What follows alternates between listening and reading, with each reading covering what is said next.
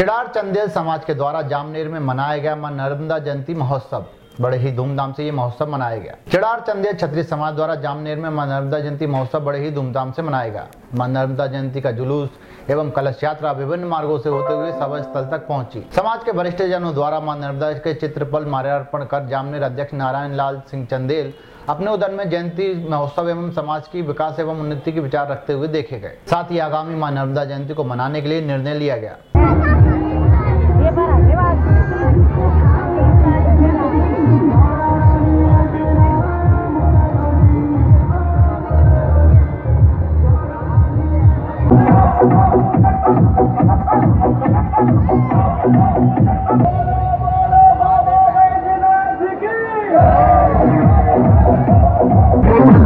Thank